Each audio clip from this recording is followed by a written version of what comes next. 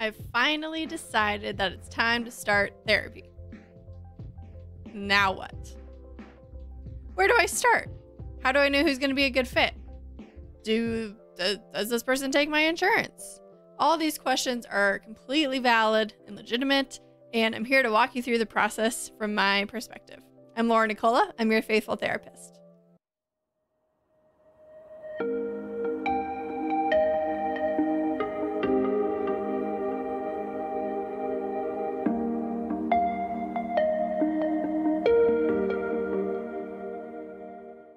Now, what next steps are?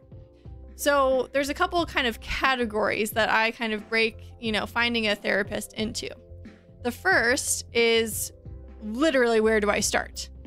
So, how do I, you know, get a recommendation or a referral? Well, I usually say start with the people closest to you. You know, ask family and friends if they have anybody that they know of. You know, if you're aware that somebody is in counseling, say, hey, would you recommend your therapist or their practice? Or, you know, do you know if they're taking new patients? That can just kind of start a conversation, right? Um, I think also starting with your local church is a great place to start. I know our practice gets a lot of referrals from clergy, so from priests and deacons, you know, that have been way, made, you know, aware of us and kind of the work we do. And so asking, you know, the church, you know, whether that's the office, you know, secretary or receptionist, or asking a priest or deacon that you know for a recommendation, hopefully they have one. Um, you know, it's worth a try starting there. You can also find people on CatholicTherapists.com. That's usually where I kind of suggest that people go. Um, not every state, you know, has people listed, but it's at least worth an option. You can also just kind of Google, honestly, you know, kind of in my state, you know, somebody, you know, in my area that could be good. I mean, I get a lot of, you know, direct messages on Instagram asking me to provide therapy, and it's worked out a few times, a handful of times um, because they've been in my state. The one caveat of you know finding somebody that's maybe has a social media presence is that the person has the therapist has to be licensed in the state in which you reside due to licensing laws. So you might find, you know, an outreach a person on social media and they may or may not be able to help you, but I mean, hopefully, the people that have reached out to me that are outside of Colorado have still found it helpful, though, to kind of make that point of contact. And then I can refer them to somebody else, you know, kind of in my little network of other people that I know across the states, um, or just again, kind of providing them this information. So you can, you know, u- utilize social media, utilize, you know, Google. I see things on our local neighborhood um, chat, I guess you could say um, through like email and Facebook, you know, like, hey, looking for, you know, a faith based counselor for my adolescent, you know. So it's it's useful, you know, to get other people's recommendations because it's kind of nice, like even as like a starting point, you know, say like, oh, this person recommends you, you know, and I trust this person, so it's helpful trusting you. You know, it's just kind of a nice like way in, right? So lots of places to start. Now, when you're thinking about, you know, maybe you have a few options, I think it's important to think about your priorities for counseling.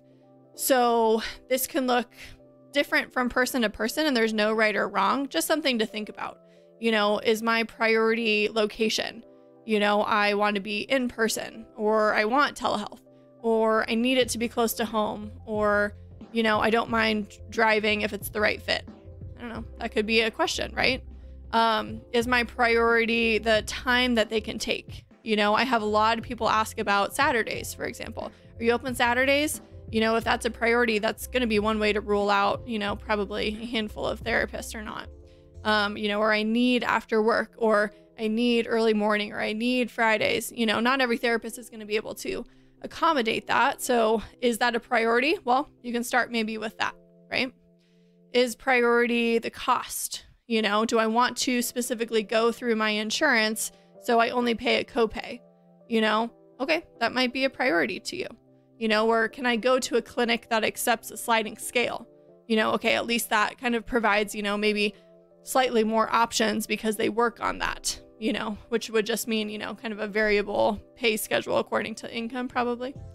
Um, is my priority gender?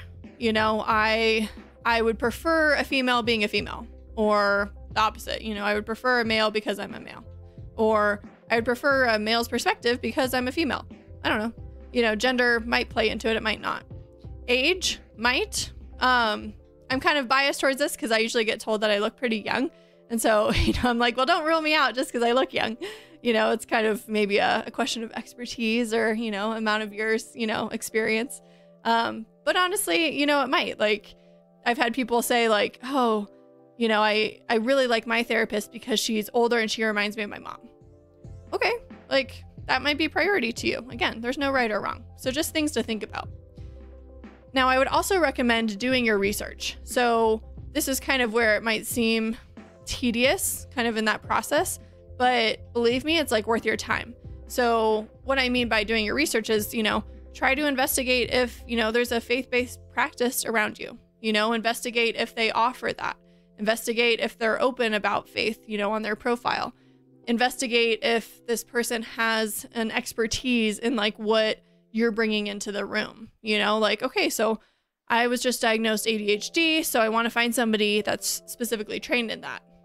That makes sense. You know, I want to find somebody that does EMDR because I've experienced this recent trauma. That makes sense. You know, so you're you're allowed to investigate into specialties and expertise of the therapist as well.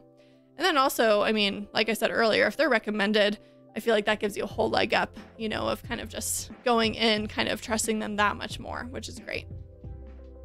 I think you also need to monitor expectations though.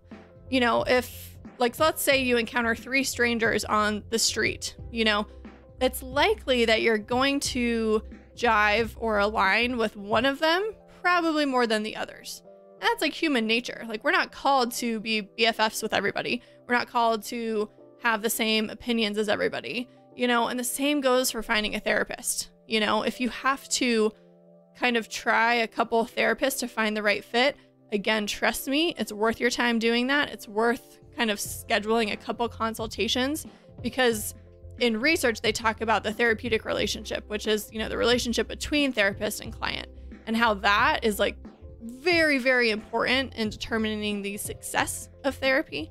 So, if you're not jiving with the therapist, you need to find somebody else, and that's okay. So, again, do your research, kind of monitor those expectations of I don't have to like the first person that I meet with, you know? Um, and also, you know, finally, just be your own advocate. So, if you are a first time therapy client, then make sure that that's clear. You know, ask lots of questions. You know, get an idea of, okay, what can I expect here? You know, how do you how do you work versus, you know, maybe another therapist? You know, can you tell me a little bit about how this is going to look? Say that, you know, I'm coming in with, you know, A, B, and C, and like, is that something that you have experience with? You're entitled to ask those questions, you know. If you're a seasoned therapy veteran, then great, you know, and be sure to also advocate for yourself in that situation. You know, be able to say, you know, okay, I had a past, you know, therapist that didn't really work out for this reason and this reason. So just so you're aware, like that didn't really jive with me. Or, gosh, I had this like past, you know, therapist, but she retired, but she was great because she did this, this, and this. Tell the new person that, you know, is that something that, you know, we can do or that you're open to, or, you know, are you trained in that? Whatever. You know, you are allowed to advocate for yourself in that. I think people just, you know, it's kind of the authority fallacy, you know, like, oh, this is a professional. Oh, they know better than I do. Oh, they're going to tell me exactly how this goes. Therapy is more collaborative than that, you know, and it involves you in a very purposeful and important way. So be sure that you feel comfortable advocating for yourself if you need to, you know, with like what you're bringing in or again, like asking questions. So ultimately, I'm just really proud of you if you are looking for a therapist because that first step is honestly the hardest. You know, I almost guarantee that it gets easier once you just start into like the therapy sessions because the comfort is there, the trust starts getting built, and hopefully you have some questions answered and it just it goes a lot more smoothly than like that initial call which can take a lot of courage and be kind of scary. So, good for you for thinking about this. And hopefully, these like just kind of few little things to even reflect on before making that call help. Um, let me know if it does. Let me know if it doesn't. that would be helpful too. Uh, so leave me comments. Please subscribe. Um, and as always, you know, follow me on my other platforms and, you know, leave me messages there. And just thanks for following along. So many blessings and good luck in your search.